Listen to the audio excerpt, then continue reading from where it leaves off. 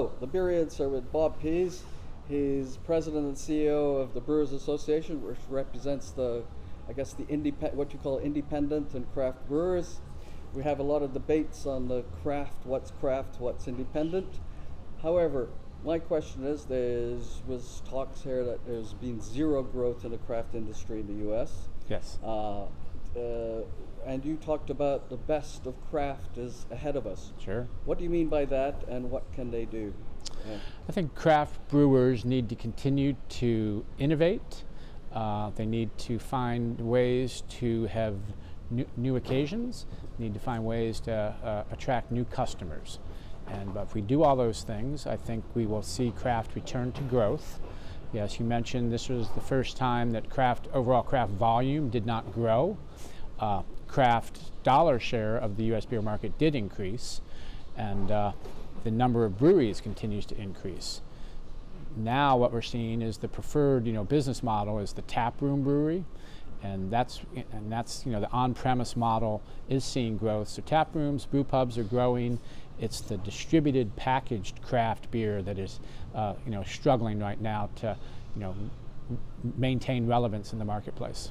Here in Europe, we're seeing some of the craft brewers, even though they survived COVID and they're still surviving the high supply prices, electricity, energy. Sure. Um, we're now seeing some starting to fail or just give up. Yep. Is that happening in the U.S. as well? Y- yes, probably to a lesser degree than what maybe we're seeing here in Europe. The number of openings uh, are st- still outpaces the number of closings. 2023 might be the year where those two lines become parallel, but in 2021, the number of closings, uh, the number of openings outpaced closings still by a two to one margin. But uh, so we'll see. Uh, the, the overall failure rate of small and independent breweries in the United States is still shockingly low. Uh, and so for that, we're optimistic. We've seen a lot of the bigger player, well, AB InBev, they, they had their experiments in buying out some of the craft breweries, uh, you know, five, ten years. Yeah. They see, saw an opportunity there. And of course, there was a lot of suspicion in the independent and craft breweries. What are they going to do? Are they just trying to buy us out and kill us? And now we're seeing that in the annual reports where they've just seemed to have gone and they're using the word premiumization. Yeah, we've noticed that.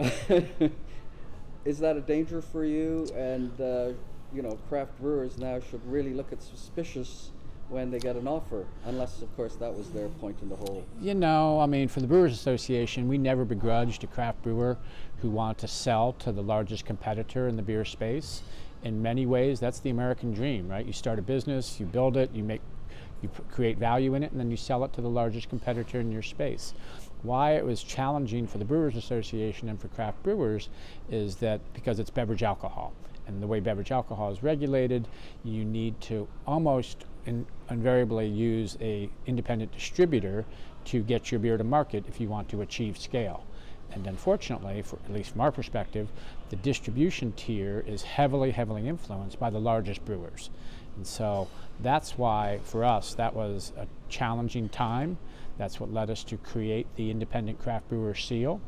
Uh, so that we could try to stand out in the marketplace and so that the consumer would know what beer truly is independent.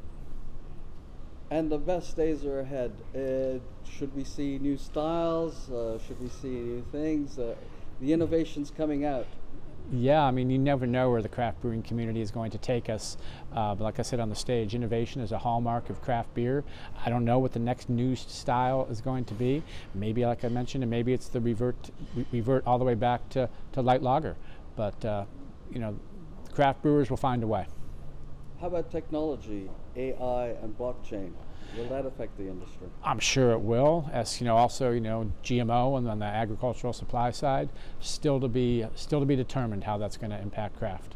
In terms, can they use that technology? I would think so. Yeah. Thank you for talking to the Beer Idiots. My, my pleasure. been a Ahmed. pleasure. Yeah, my pleasure. Thank you so much. You bet.